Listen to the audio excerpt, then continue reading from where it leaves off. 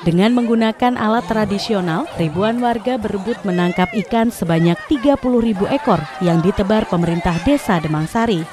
Berlomba-lomba untuk mendapatkan ikan, ribuan warga mulai dari anak-anak hingga dewasa bergelut dalam kubangan lumpur saluran irigasi. Selain peserta, warga juga antusias untuk menyaksikan pemecahan rekor. Tak hanya memecahkan rekor, peserta yang mendapatkan ikan bertanda akan mendapatkan hadiah dari penyelenggara. Selain untuk memperingati HUT RI ke-73, pemecahan rekor ini juga bertujuan untuk melestarikan tradisi Gubiak Akbar sekaligus mengkampanyekan menangkap ikan dengan cara ramah lingkungan.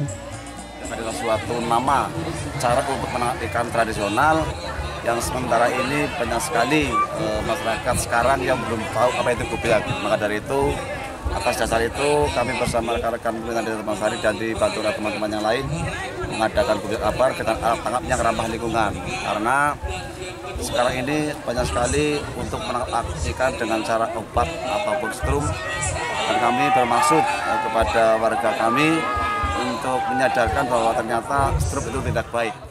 Dengan jumlah peserta mencapai lebih dari 3.000 orang, tradisi ini berhasil memecahkan rekor catatan dari original rekor Indonesia dengan jumlah peserta terbanyak penangkapan ikan dengan cara tradisional di sungai sepanjang 1080 meter.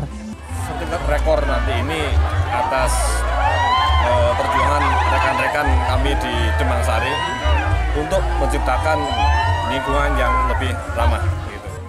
Bukan hanya memecahkan rekor, semangat hari ulang tahun ke-73 kemerdekaan Republik Indonesia dapat menjadikan tradisi gubiak ikan akbar ini sebagai momentum agar warga lebih mencintai lingkungan dan habitat sungai.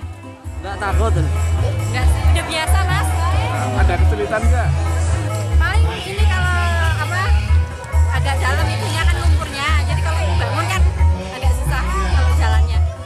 Dari Demang Sari, Kecamatan Ayah, Tim Liputan Ratih TV memberitakan.